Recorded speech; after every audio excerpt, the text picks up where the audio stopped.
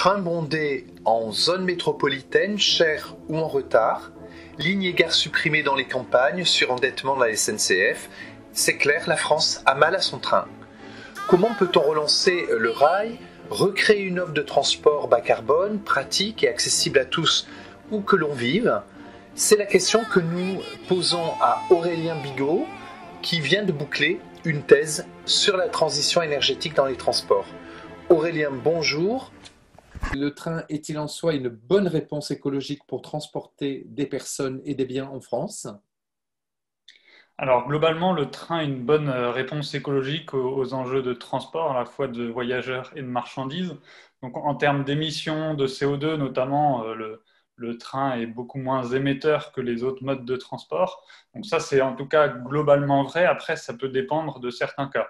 Déjà, il faut comprendre de où vient le fait que le train est moins émetteur que les autres modes. Alors il y a deux principales grandes raisons. On peut le lier à deux facteurs. Il y a notamment le fait que le train est plus efficace d'un point de vue euh, euh, énergétique. Donc, notamment, il y a le fait qu'il y ait peu de frottement. Donc, c'est à la fois sur, euh, sur le frottement au sol. Donc, il y a le contact rail-roue qui est très peu, qui, qui, crée très peu de frottement. Donc, par, par, comparaison, par exemple, avec la route, où le frottement d'un pneu sur une route crée beaucoup plus de frottement. Et puis, il y a aussi moins de frottement lié à l'aérodynamisme d'un train qui est meilleur euh, que euh, l'aérodynamisme, par exemple, d'un bus ou d'une voiture, dans le sens où un train transporte plus de monde. Donc il y a ce côté aussi qui joue sur l'efficacité énergétique du train, c'est le côté massification, c'est-à-dire qu'un train peut transporter d'un coup euh, beaucoup de voyageurs ou beaucoup de marchandises. Et c'est ça qui fait pour beaucoup sa meilleure efficacité énergétique par passager transporté ou par tonne de marchandises transportées quand on compare le train euh, aux autres modes. Et après, il y a autre chose qui fait que le, train euh, est moins émetteur que les autres modes, c'est euh, par rapport à l'énergie qui est consommée, ou pour beaucoup, les, trains fonctionnent à l'électricité en France, pour, pour, une grande partie d'entre eux, et que l'électricité en France est relativement peu émettrice de CO2. Donc ça, quand on cumule ces gains d'efficacité énergétique et d'énergie qui est peu carbonée. On a en tout cas en termes de bilan carbone euh, une efficacité du, train qui est, bien meilleure que les autres modes. Et ce qui est intéressant quand on regarde d'un point de vue un peu plus historique, c'est que ça, en fait, ça n'a pas toujours été le cas. Euh, si on regarde au début du, siècle précédent, au début du XXe siècle, euh, les trains fonctionnaient essentiellement au charbon, étaient très inefficaces, par exemple sur les, sur les moteurs. Et si on se posait la question de est-ce qu'il fallait développer le train dans les années 1950 euh, par rapport à la voiture, eh ben, la réponse aurait été non, parce que le train à ce moment-là était trois fois plus émetteur que la voiture euh, par, passager transporté. Euh, mais depuis, il y a eu une transition énergétique extrêmement forte du ferroviaire. Donc, ce n'était pas lié à des arguments écologiques hein, à, l'époque, c'est le, changement notamment par des arguments plus économiques de, de sortie du charbon, qui fait que depuis, les émissions du train ont été divisé par 50, euh, quelque chose comme ça environ, par passager transporté. Alors que pour les autres modes, il y a certains modes qui ont fait des progrès quand même assez significatifs, mais pas vraiment dans, cet ordre de grandeur-là. Et ce qui fait qu'aujourd'hui, en moyenne, en France, euh, voyager en train par, par kilomètre euh, parcouru, c'est de l'ordre de 15 fois moins émetteur que la voiture. Après, je dis ça, c'est globalement, euh, mais après, il y a des cas particuliers où le train est moins, favorable, en tout cas moins favorable que cette moyenne.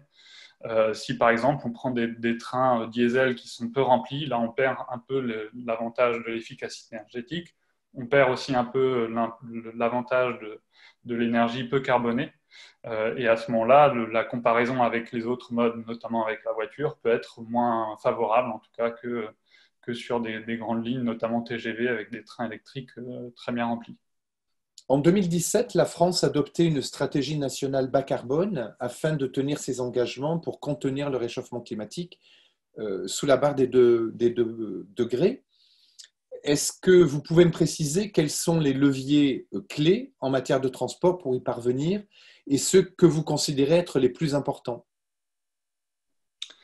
Alors, la France, en 2017, a sorti un plan climat euh, qui vise l'objectif de neutralité carbone euh, au niveau de la France en 2050. Donc ça, ça veut dire qu'on émet autant d'émissions de gaz à effet de serre qu'on en capte, notamment par la croissance de la végétation ou par des processus industriels.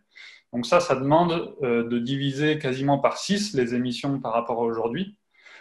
et pour le secteur des transports, il y a la stratégie nationale bas carbone française qui prévoit quasiment de sortir complètement du pétrole euh, d'ici 2050 pour, donc pour le secteur des transports. Et notamment pour le secteur des transports terrestres, il n'y aurait plus du tout de pétrole euh, en 2050, donc d'ici seulement 30 ans. Et pour cela, pour le secteur des transports, il y a cinq leviers qui sont prévus par cette stratégie nationale. Tout d'abord, c'est celui de la modération de la demande de transport. Donc, c'est le fait de, par exemple, parcourir moins de kilomètres. Euh, le deuxième levier, euh, c'est celui du report modal, donc utiliser euh, moins l'avion, la voiture et davantage les transports en commun, les modes actifs comme la marche et le vélo. Le troisième levier, ça va être celui du, remplissage des véhicules, donc ça va être notamment le développement du covoiturage. Le quatrième levier, c'est celui de l'efficacité énergétique des véhicules, donc il y a à la fois des, des leviers assez techniques par rapport à cette efficacité énergétique, mais il y a aussi des leviers de sobriété, comme par exemple la réduction du poids de véhicules ou des vitesses sur les routes. Et enfin, le dernier levier, le cinquième levier, c'est celui euh, qu'on appelle d'intensité carbone de l'énergie. C'est est-ce que l'énergie qu'on utilise euh, émet beaucoup de CO2 ou non. Donc ça, cette intensité carbone est élevée avec le pétrole qu'on utilise majoritairement aujourd'hui. Mais si on passe à l'électrique, au biogaz, euh, aux agrocarburants ou à l'hydrogène, à condition que ces énergies-là soient produites de manière durable, ça permet de faire baisser euh, l'intensité carbone de l'énergie. parmi ces leviers, euh, il y en a un que vous considérez comme les plus efficaces ou en tout cas les plus simples à mettre en œuvre Alors, en tout cas, ce qu'on a observé par le passé, c'est que le principal levier qui, qui, influence, le principal facteur qui influence l'évolution des émissions de CO2, c'est la demande de transport, donc le nombre de kilomètres qu'on fait. Et si on regarde par exemple entre 1960 et 2017, les émissions de CO2, elles ont été multipliées par 4,2 en France, essentiellement parce que la demande de transport, donc le nombre de kilomètres qu'on parcourt au total, ont été multipliés par 4,7. Donc en fait, pour l'instant, sur cette période-là, euh, le nombre de kilomètres et les émissions sont restées très proches, donc elles ont évolué de, de manière très proche. Et ça, c'est notamment parce que les émissions de CO2 en moyenne par kilomètre parcouru ont très peu baissé. Donc j'ai dit tout à l'heure que pour le train, ça avait énormément progressé, mais pour les autres modes, ça a moins progressé, et on a eu tendance à se reporter vers des modes plus polluants comme la voiture. Euh, donc historiquement, c'est surtout la demande qui a influencé euh, les émissions de CO2. Après, ce qu'il y a, c'est que c'est difficile, de, c'est même impossible de revenir complètement en arrière par rapport à, l'organisation du territoire qu'on a désormais, qui s'est adapté aussi euh, aux plus longues distances maintenant qu'on fait. Euh, mais c'est un levier, en tout cas, sur lequel on devrait davantage agir, sur lequel on devrait avoir des débats publics, d'ailleurs, davantage euh, plus forts sur cette question-là, quand on voit notamment que, que le trafic aérien, il y a toujours une volonté d'augmenter ce trafic-là, alors qu'on sait très bien qu'il n'y a pas de, solution technologique à court terme euh, pour réduire son impact. Donc on sait très bien que si on continue à augmenter la demande de l'aérien, on va continuer à augmenter les émissions. Mais après, il y a euh, les, autres leviers, en tout cas de la stratégie nationale bas carbone, sont très importants aussi. Euh, notamment dans tous les scénarios, on voit qu'il y a une importance euh, des facteurs d'efficacité énergétique et de décarbonation de l'énergie qui sont importants. et dans la stratégie nationale bas carbone, la stratégie de l'État actuellement, c'est essentiellement ces leviers-là qui sont plus technologiques, qui font les baisses d'émissions. Et au contraire, la stratégie actuelle est très peu, ambitieuse sur les leviers davantage de sobriété, donc notamment de, un aménagement du territoire qui permet de faire de, moindres distances, de davantage utiliser les modes de transport bas carbone, que ce soit le vélo, le train, ou de développer le covoiturage, ou de réduire le poids des voitures, etc. Donc tous ces leviers-là, aujourd'hui, qui sont davantage sur la sobriété, sont beaucoup moins pris en compte par la politique des transports actuels. Est-ce que euh, globalement, le nombre euh, de voyageurs par train a augmenté ou diminué euh, ou est stable depuis 20 ans? Et quelles sont les caractéristiques des évolutions possibles des usages de train alors, sur les dernières années et les dernières décennies, les trafics voyageurs en train sont plutôt en hausse. Donc, ils sont plutôt en hausse en nombre de kilomètres euh, parcourus par les voyageurs, Sur les trains plutôt de courte distance, ce qu'on observe, c'est qu'il y a une augmentation du nombre de, voyages. Donc ça, automatiquement, ça fait augmenter euh, le nombre de kilomètres parcourus. Et sur les trains plus de longue distance, ce qu'on a plutôt observé, ce n'est pas forcément une hausse du nombre de voyages, mais une hausse de la vitesse des voyages. Et du coup, avec un temps de transport ou un nombre de voyages un peu équivalent, et eh ben, en fait, on va plus loin, donc on fait plus de kilomètres. Donc les trafics augmentent sans forcément qu'on prenne vraiment plus le train sur la longue distance.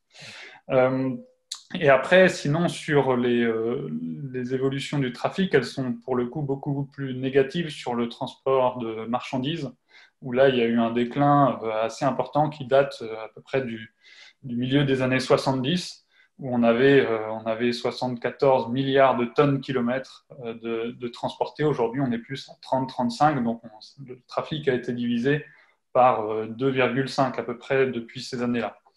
Euh, et après, d'une année sur l'autre, les évolutions de trafic, elles, dépendent aussi un peu de la conjoncture économique, euh, des éventuels événements qu'il peut y avoir en termes d'inondation, de grève. Cette année, ce sera le confinement qui va fortement impacter les trafics. Donc ça, il y a aussi des tendances plus de court terme, mais des tendances plutôt de long terme sont plutôt positives vers une croissance des trafics, en tout cas pour ce qui est des voyageurs. Mhm. Et à l'avenir, euh, les, principaux scénarios de transition énergétique voient une croissance, en tout cas toujours de ces trafics.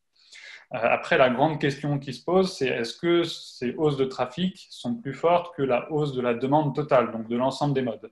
Si on, veut, faire augmenter la part modale du train, donc la proportion du train dans tous les modes, il faut que les trafics de train augmentent, mais il ne faut pas que le trafic des autres modes augmente fortement si le trafic en voiture, en avion, etc., continue à augmenter aussi, euh, à ce moment-là, la part modale du train ne va pas vraiment évoluer. Donc ça montre que si on veut fortement faire un report modal vers le train, il faut aussi avoir euh, une politique plus globale qui vise euh, à, modérer en tout cas les distances de, déplacement, aussi bien pour les voyageurs que pour les marchandises. Ça, pose la question aussi de la qualité, je dirais, du service euh, des, trains. Et euh, alors qu'au XXe siècle, le train était vraiment une fierté nationale, euh, en tout cas jusque peut-être les années 60-70, même peut-être même les années 80, avec un maillage de lignes incroyable, des services plutôt remarquables en termes de transport de personnes, de marchandises, le jour, la nuit. Euh, de la ponctualité, euh, des gains de vitesse. On a le sentiment, depuis euh, une, bonne trentaine d'années, qu'il y a un irrésistible déclin, des services, des équipements et des usages à l'échelle nationale, avec aussi un, endettement record, hein, 38 milliards d'euros, euh, et euh, une baisse du nombre d'employés et des fermetures de lignes. Est-ce que euh, vous avez la même analyse qu'il y a vraiment un déclin ou vous ne partagez pas cette vision-là Et si c'est le cas, comment vous expliquez ce déclin? Alors, est-ce qu'il y a un déclin du ferroviaire? Ça, je dirais que du coup, ça dépend du type de service qu'on regarde. Comme on disait euh, sur, le, sur les, trains de marchandises, en effet, il y a eu un déclin historique euh, très fort. Là, sur ces dernières années, les trafics sont plutôt assez constants et la part du train reste à peu près à 10% des marchandises transportées. Tout comme d'ailleurs pour les, voyageurs, c'est à peu près 10% euh, des, des, voyageurs qui, qui quoi, 10% du transport de voyageurs qui se fait par train. Par contre, sur le transport de voyageurs, il y a globalement plutôt euh, des tendances qui sont favorables en termes de, trafic sur le train, mais c'est essentiellement concentré euh, sur les trajets à longue distance, donc notamment avec le développement du TGV, et aussi dans les plus grandes villes, et en particulier dans la région parisienne, où là, les trafics du quotidien sont, euh, sont forts et sont aussi toujours en croissance. par contre, le, déclin qu'on peut observer, ou en tout cas les, baisses de, services, etc., vont être beaucoup plus fortes euh, là dans les zones plus rurales, dans les zones peu denses, euh, où là, en effet, il y a des, fermetures de lignes qui sont, euh, qui sont plutôt assez, assez constantes depuis de nombreuses années, depuis de nombreuses décennies. et je pense que c'est surtout là, en tout cas, qu'il peut y avoir une perception forte, en tout cas, de, déclin des, services. Et après, je pense qu'il y a une perception globale, en tout cas, en termes de, de besoins, d'exigences de qualité de service qui n'est pas toujours à la hauteur en termes de, fiabilité, de ponctualité ou d'information voyageurs. Donc ça, ça joue fortement, je pense, sur le ressenti global des voyageurs qui prennent le train. Alors justement, vous faites référence plutôt aux zones rurales. Dans les zones rurales, on observe souvent une spirale qui est un peu désastreuse, avec moins de lignes, moins de trains et, de gares ouvertes, des remplacements de plus en plus importants de, de trains par des bus. mais également des absences de coordination au niveau des horaires, non seulement entre des lignes TER et des lignes nationales, mais aussi avec euh, des bus qui dépendent euh, du département, alors que les TER, c'est les régions. Bref, une absence de coordination, de ponctualité, euh, des problèmes d'équipement, et tout ça qui contribue et qui va accélérer un peu cette déprise des usages ferroviaires dans les zones rurales. Aurélien, comment on peut sortir en fait de cette, de cette spirale et comment on peut reconstruire une offre qui soit à la fois euh, durable écologiquement, mais qui soit aussi, je dirais, solidaire euh, entre les territoires euh, et, qui réponde à des besoins socio-professionnels qui ont été mis en avant, notamment pendant la crise des Gilets jaunes. Alors, sur, sur la question du, rural et du périurbain et la, place du train dans tout ça, euh, peut-être je vais commencer par me faire un peu l'avocat du diable pour comprendre pourquoi il y a cette spirale-là. Euh, je dirais il y a tout d'abord un contexte un peu historique qui est de voir dans quel contexte euh, les petites lignes se sont construites.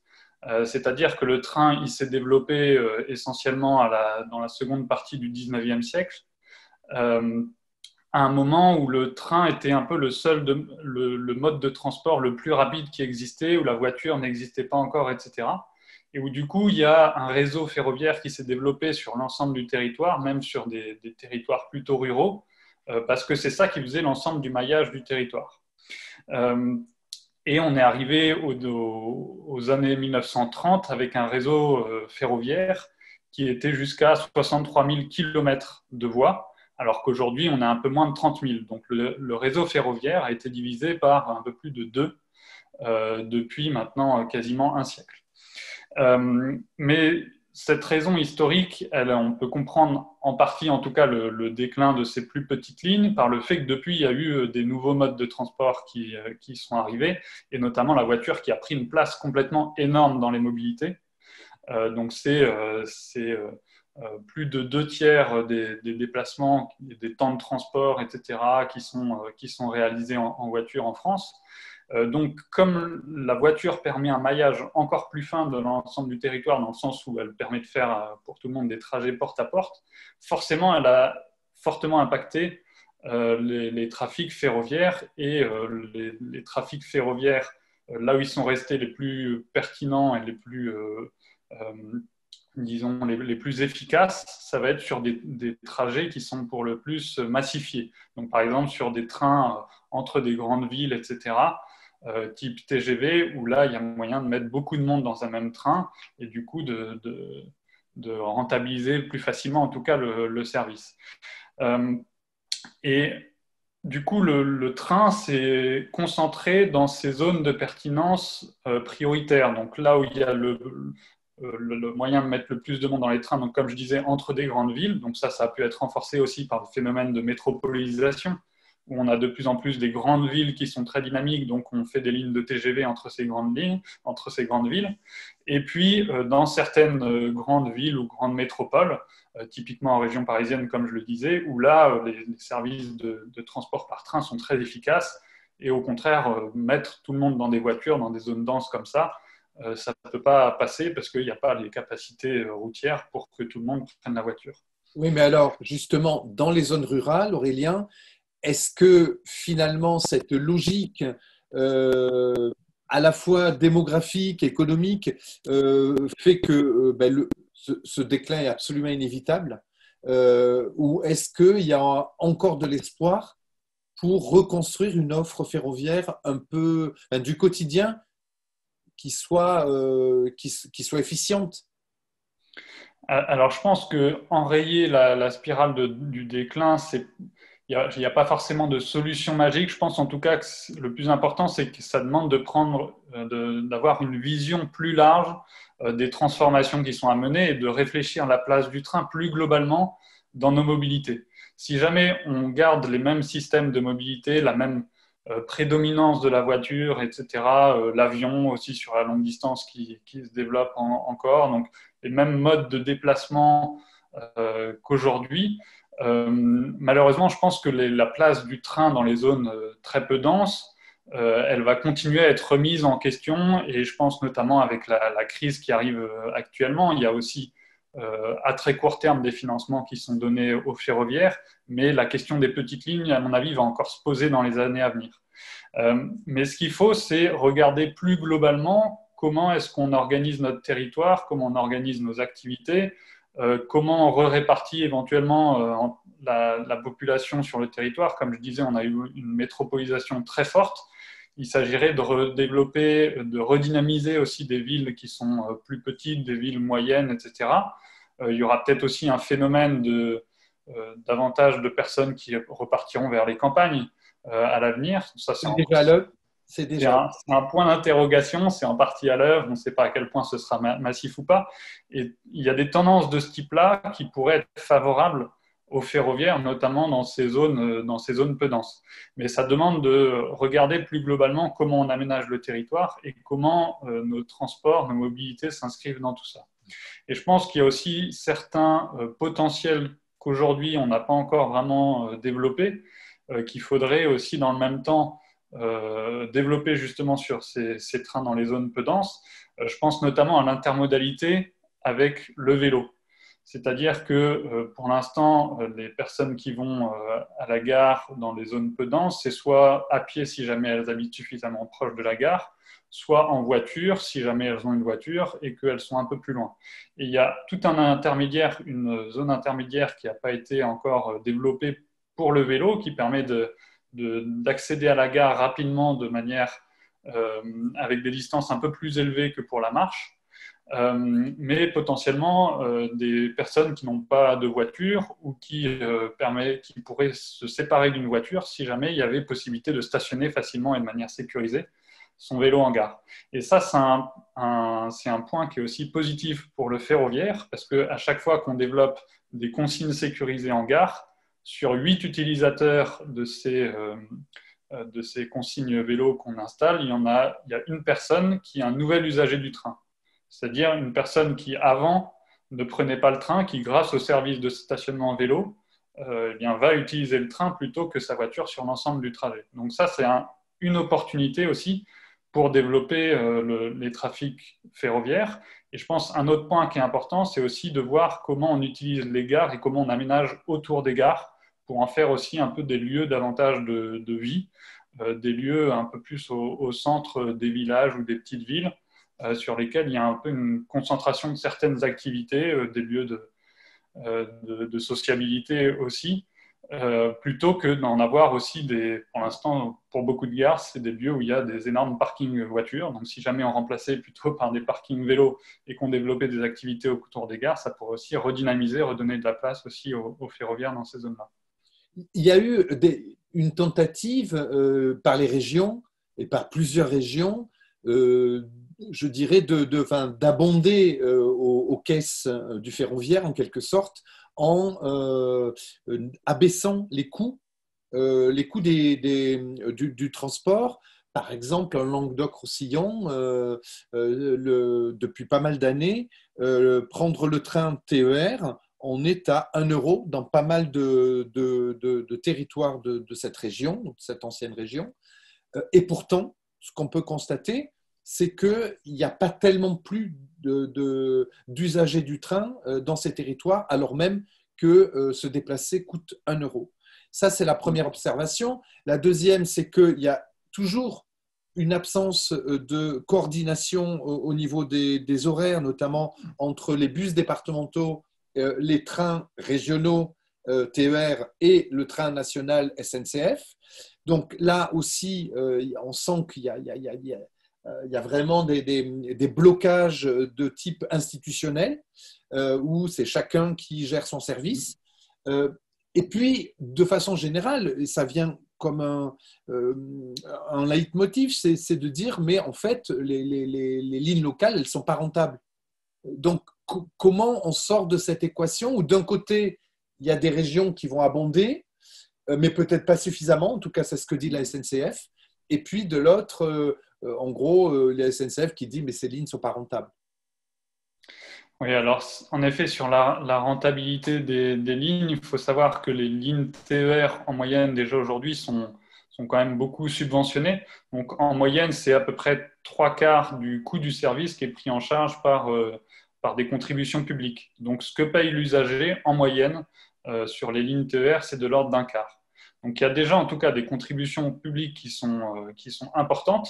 Après, dans certains lieux, elles ne sont pas suffisantes pour qu'il y ait beaucoup d'usagers dans le train, soit parce que sur certaines petites lignes, peut-être dans tous les cas, il n'y a pas forcément un potentiel euh, énorme si on est sur des zones assez peu peuplées ou entre différentes petites villes où il n'y a pas forcément énormément de, de, personnes qui font ces trajets-là. Euh, ou bien des fois parce que la qualité de service, en effet, n'est peut-être pas suffisante, il n'y a pas une fréquence suffisante ou pas assez de coordination dans les horaires. Euh, etc. Après, toute la question, c'est à quel point, si jamais euh, les contributions publiques augmentent justement pour augmenter cette fréquence, est-ce qu'il y avait un, potentiel qui jusqu'à maintenant n'était pas, n'était pas rencontré parce qu'il n'y avait pas justement cette qualité de service qui permettrait d'augmenter les trafics? Mais augmenter l'offre ferroviaire, si jamais il n'y a pas ce potentiel derrière, ça risque de coûter encore plus cher en contribution publique sans qu'il y ait un intérêt majeur. Donc je pense que c'est là aussi qu'il y a besoin de se poser des questions de manière plus globale sur vers quel mode ou vers quel système de mobilité on oriente les contributions publiques, euh, parce qu'il y a aussi d'autres potentiels pour les zones rurales qui aujourd'hui ont été très très peu explorés. Je pense à trois potentiels euh, en termes de mobilité plus durable. Euh, je vais citer tout d'abord le covoiturage. Donc aujourd'hui, euh, la, voiture est extrêmement prédominante dans les zones rurales. Il y aurait une possibilité peut-être de mutualiser davantage euh, les trajets et à ce moment-là de permettre de vraiment réduire les émissions de CO2 si pour certains trajets c'est plutôt deux ou trois personnes par voiture plutôt que chaque personne dans sa propre voiture. Et ça, il y a des expérimentations qui se font dans des zones rurales. Je pense à à une entreprise qui s'appelle Ecov, qui, fait, euh, qui essaie de, faire ça dans des zones rurales avec des, panneaux sur le bord de la route, un peu en, forme de, covoiturage dynamique, un peu entre l'autostop et le covoiturage. Il y a aussi Réseau Pouce qui fait ce genre de choses, où on est un peu entre l'autostop et le, et le covoiturage. Donc ça, ça peut être des concepts qui peuvent être vraiment intéressants à développer dans les zones rurales. Après, un deuxième potentiel, toujours sur la voiture, c'est au lieu d'avoir des voitures qui font euh, une tonne 3 à peu près en moyenne, c'est de se dire, si jamais les personnes sont seules dans leur voiture, pourquoi avoir une voiture si grosse? Et à ce moment-là, pourquoi ne pas développer des véhicules très petits? Euh, Pour faire un peu de pub à Renault, désolé, euh, il y a la Renault Twizy, qui est un véhicule de moins de 500 kg, qui coûte beaucoup moins cher qu'une voiture, qui est beaucoup plus efficace et qui, pour la majorité des services, permet de rendre euh, euh, des, des, services équivalents à la voiture. Donc là, en plus, c'est une voiture électrique avec une batterie petite. Donc il y a des impacts environnementaux qui sont moins importants que, que pour une grosse voiture électrique. Et euh, ça, ça pourrait répondre à tout un tas d'usages aussi dans ces zones-là. Avec un coût? Avec un coût qui, sont, qui est bien plus faible, en tout cas un coût d'achat de la voiture qui est de l'ordre de, de deux fois moins élevé que la voiture neuve moyenne d'aujourd'hui et un coût à l'usage aussi qui est beaucoup plus faible parce que déjà c'est à l'électricité, donc ça, ça, coûte moins cher, et parce que les consommations sont, sont très faibles. Donc ça, c'est un, on, reste sur le modèle de la voiture dans un certain sens, euh, mais avec euh, une voiture qui est beaucoup plus sobre et en termes d'impact environnemental, en tout cas, qui est, qui est beaucoup plus faible. Et puis le troisième potentiel qui n'est pas exploré jusqu'à maintenant, c'est celui du vélo on a tendance aujourd'hui à voir le renouveau du vélo essentiellement dans les, grandes villes, et ça c'est vrai, c'est essentiellement là qui, qui, se redéveloppe. Mais pour autant, il y a un potentiel qui est assez énorme dans des zones de moyenne densité ou de faible densité. Et d'ailleurs, ce qui est assez surprenant, c'est quand on regarde les premiers résultats qui ont été sortis euh, de l'enquête nationale transport-déplacement euh, qui a interrogé les Français en 2009, en 2019, pardon, donc euh, vraiment l'année dernière, euh, il y avait 2,3% des, des, trajets euh, dans les zones rurales qui sont faits en vélo. Et c'était à près la même chose dans la, métropole parisienne. donc, en fait, on a aujourd'hui finalement une pratique du vélo qui n'est pas si éloignée que ça, en fait, d'autres de, villes plus importantes. Donc, déjà aujourd'hui, il y a un peu du vélo dans ces communes rurales, même si ce n'est pas l'image qu'on en a. mais surtout, il y aura un potentiel assez important qui pourrait se développer parce qu'il y a tout un tas de trajets dans les zones rurales, une, partie, une part vraiment importante, qui sont des distances qui sont faisables en vélo. Donc après, bien sûr, il faut développer notamment les infrastructures qui sont plus sécurisées pour euh, permettre au plus grand nombre de, de, pouvoir prendre le vélo, de, faire des campagnes aussi euh, dans, le sens, dans ce sens-là, développer aussi le vélo à assistance électrique, ça a aussi un potentiel plus important pour, pour plus facilement remplacer la, voiture, euh, développer du stationnement, des services vélo, etc. En tout cas, il y a un potentiel qu'il faudrait vraiment mobiliser dans, ces zones-là sur le vélo. Vous n'abordez pas euh, les bus, et pourtant, euh, le bus, euh, alors qui est peut être tout à fait contestable au niveau de l'impact carbone, hein, mais c'est la réponse, semble-t-il, quand même, qui est apportée pour les zones rurales par la SNCF. Il y a énormément de trains qui ont été remplacés par des bus et même il y a des projets de développement dans ce sens-là. Euh, et on voit également au niveau des collectivités que ça, ça, semble être une réponse quand même assez, euh, assez importante.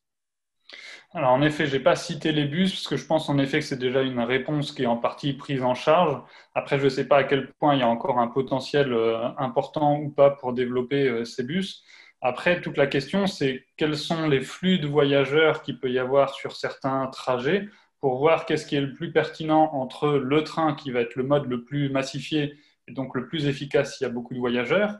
L'intermédiaire qu'il peut y avoir, ça va être celui du bus, si jamais il y a un petit peu moins de monde, euh, mais quand même suffisamment pour avoir des lignes de transport en commun euh, avec quelques dizaines de voyageurs par, par véhicule. Et après, s'il y a encore moins de potentiel, à ce moment-là, là, le covoiturage, peut être, euh, peut être le, plus pertinent. Et si jamais vraiment on est sur des zones où il n'y a pas forcément de, de, voyageurs qui vont dans les mêmes zones, euh, à ce moment-là, bah, on est sur du transport individuel. Et le transport individuel, soit si ça reste avec une voiture, comme je disais, bah, autant que ce soit une voiture beaucoup plus sobre, ou sinon, si c'est possible à vélo, c'est encore mieux. Et à ce moment-là, on peut développer le vélo classique, le vélo assistance électrique, et j'en ai pas parlé, aussi le speed pedelec, où là, c'est plus un vélo assistance électrique d'un point de vue légal, mais ça y ressemble énormément. C'est un vélo assistance électrique qui est débridé jusqu'à 45 km/h. Donc ça, c'est dans la catégorie cyclomoteur, mais euh, on continue à pédaler. Il y a une assistance électrique, il faut une batterie un peu plus capacitaire.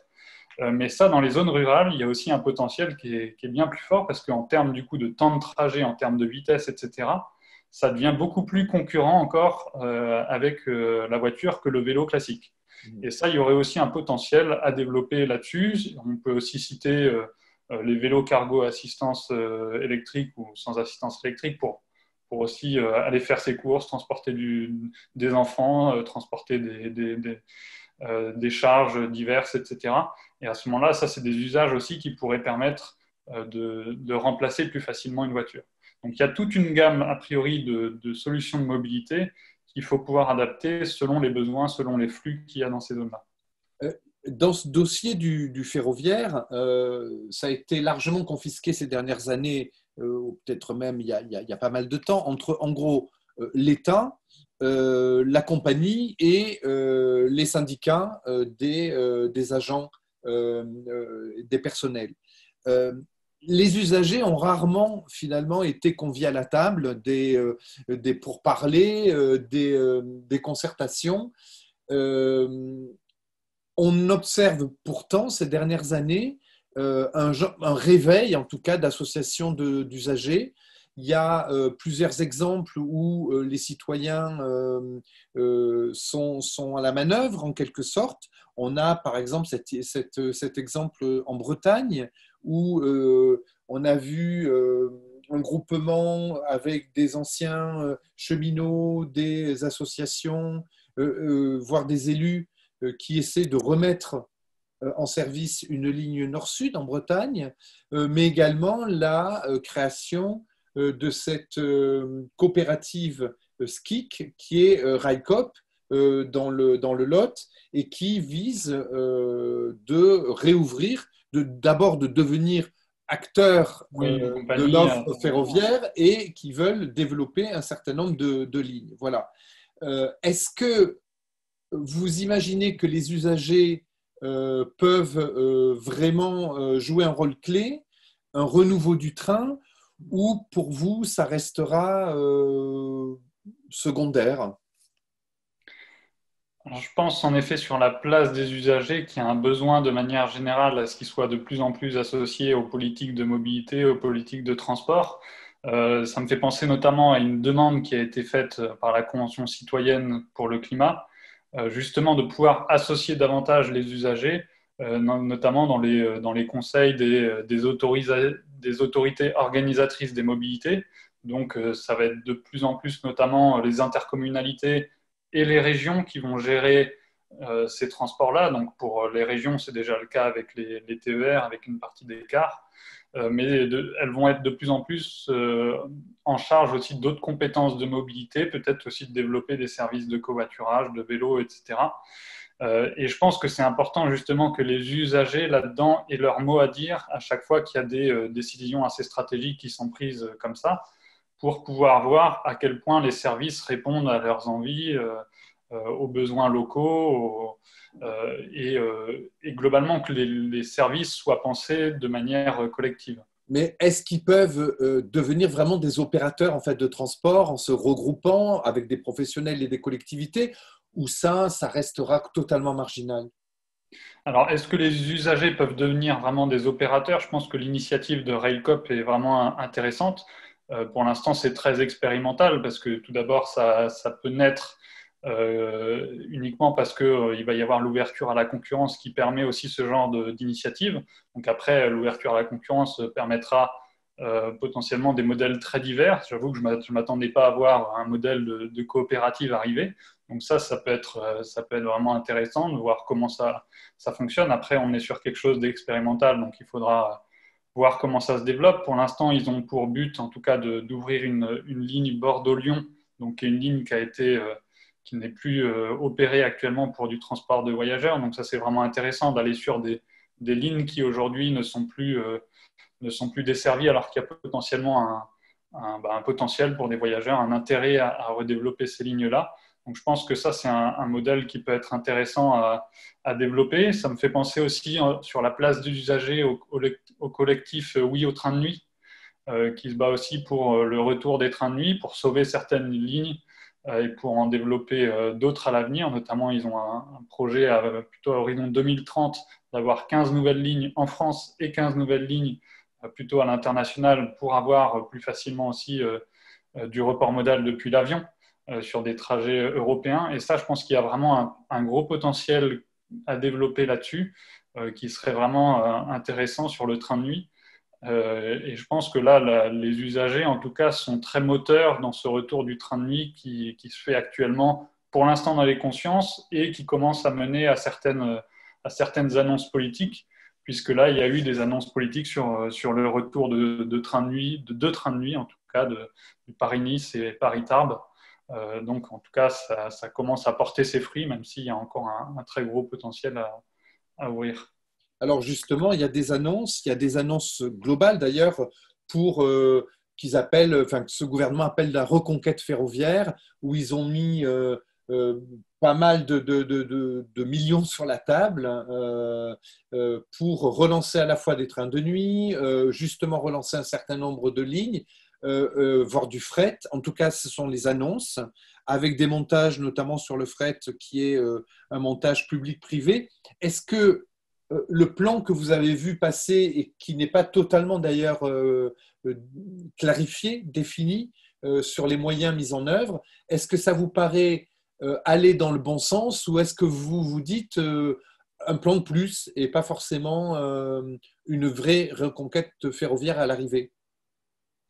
Alors, sur le plan de reconquête ferroviaire, je pense qu'il y a des moyens qui ont été mis, et c'est vraiment une, bonne nouvelle en tout cas, que ces moyens aient été mis. Je pense dans un premier temps, euh, reconquête, c'est un mot notamment de communication pour, pour faire penser qu'on va redévelopper fortement le, euh, le, train grâce à ce plan-là. Je pense dans un premier temps, c'était en tout cas de, sauver en partie aussi euh, vis-à-vis des impacts qu'ont eu la crise sur, le, sur le trafic ferroviaire, sur la SNCF notamment. Après, est-ce que le, le, plan permettra vraiment de redévelopper le train davantage que ce qu'il l'est aujourd'hui? Je ne pense pas. je pense qu'il n'est pas suffisant dans le sens où il compense a priori pas complètement toutes les pertes qu'a subi la SNCF euh, pendant la crise. Donc, euh, il est possible visiblement qu'il y ait aussi des cessions d'actifs de la part de la SNCF, euh, justement pour, pour passer cette crise. Donc, je ne suis pas sûr, en tout cas, que ce soit suffisant pour relancer vraiment le, train. Et je pense, de manière plus globale, c'est surtout à quel point cette relance du train s'inscrit ou pas dans une politique plus écologique de, de l'ensemble des mobilités et des transports. Et ça, malheureusement, ce n'est pas le cas. C'est-à-dire qu'il y a toute une volonté aussi de relance de l'aérien. Euh, si jamais on était dans, vraiment une logique de, développer le ferroviaire à la place des autres modes de transport, on relancerait surtout le ferroviaire et on penserait la conversion du transport aérien, euh, en partie aussi de la voiture, comment reconvertir, euh, bah, comment transformer en tout cas le, secteur automobile vers des véhicules beaucoup plus sommes, beaucoup, beaucoup moins consommateurs d'énergie et notamment de, de pétrole, éviter de, de favoriser toujours le, renouvellement du parc, euh, y compris vers des véhicules des fois lourds et, polluants. Donc je pense que là, vraiment de manière plus globale, en tout cas cette reconquête du ferroviaire, elle ne s'inscrit pas dans une logique plus globale de transformation de nos mobilités, de nos transports, et je pense que c'est ça le plus problématique euh, en fin de compte. Est-ce qu'il y a eu euh, en Europe des exemples de pays qui, pour le coup, ont vraiment euh, fait un choix global au niveau du transport pour de la mobilité euh, plus écologique et, collective, euh, notamment avec l'offre du train. Est-ce que ça existe dans les pays de l'Union? Alors, en Europe, il y a en effet des pays qui sont plus en avance que, la France sur le ferroviaire. L'exemple qui est souvent donné, c'est celui de la Suisse, qui a notamment fait beaucoup de choses sur le, fret ferroviaire, où, où eux, ils ont notamment une taxation des poids lourds qui est beaucoup plus forte, justement, pour encourager ce report modal vers, vers le ferroviaire.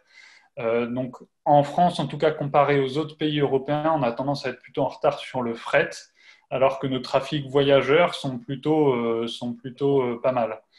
mais en tout cas, oui, sur le fret ferroviaire, nous, on a un potentiel qui est, qui est encore sûrement assez important quand même à, redévelopper et qu'on n'a pas réussi à faire jusqu'à maintenant. Et on veut le doubler. Dans les annonces gouvernementales, on passerait de 9% à 18%. Pour rappel, on était à 45% en 74. Vous, vous, y faisiez allusion. Euh, est-ce que là encore, les moyens qui ont été mis sur la table et cette construction publique-privée euh, d'un plan de relance du fret, ça vous paraît euh, crédible ou pas vraiment? Alors sur ce plan de relance du fret, ce qui est intéressant de voir, c'est tout d'abord que dans la stratégie nationale bas carbone, donc le document de référence sur le climat, euh, ce qui est prévu pour le fret ferroviaire, c'est que les trafics augmentent d'ici 2050. Euh, de mémoire, c'est plus 40%, mais euh, dans un contexte où l'ensemble, ou peut-être plus 50% sur le train, et dans un contexte où l'ensemble de la demande est à plus 40%. Et à ce moment-là, en fait, c'est ce que je disais tout à l'heure, si toute la demande de l'ensemble des modes augmente, la part modale du train, en fait, elle n'augmente pas beaucoup. Donc là, elle augmente peut-être d'un ou deux euh, avec ces, changements-là, mais il n'y a pas de vraie volonté de faire un report modal vers le train dans la stratégie climatique de la France. Et une des grandes raisons, c'est que ce qui est prévu, c'est que tout le trafic augmente. Si jamais on voulait que vraiment euh, la part modale du train augmente fortement à l'avenir, il faudrait euh, changer les conditions un peu de concurrence du train avec notamment les poids lourds. Aujourd'hui, les poids lourds sont extrêmement concurrentiels. Euh, ils ont énormément de, sont beaucoup plus simples à utiliser, ils sont beaucoup plus flexibles. Euh, ils permettent d'aller partout sur le territoire sans rupture de charge, comme on les appelle. Donc, le fait de passer des marchandises sur un train, puis de nouveau du train vers le poids lourd, etc.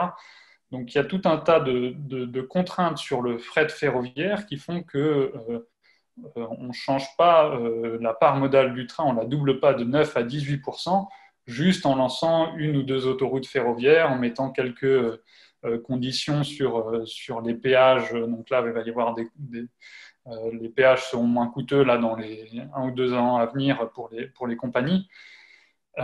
mais ce qu'il faut, c'est une stratégie de long terme sur le fret ferroviaire pour le soutenir, mais surtout, euh, en parallèle, si on ne met pas de contraintes aux poids lourds et aux routiers, pour moi, il n'y a aucune chance que euh, ce plan de doublement de la part du ferroviaire fonctionne. Le routier est beaucoup trop efficace pour que juste en soutenant un petit peu plus le fret ferroviaire, on puisse doubler sa part modale.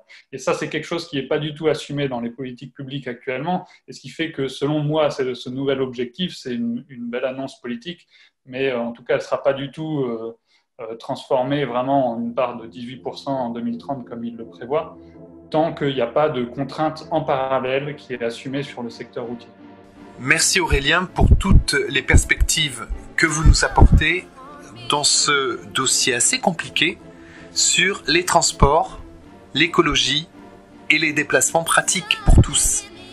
Au revoir.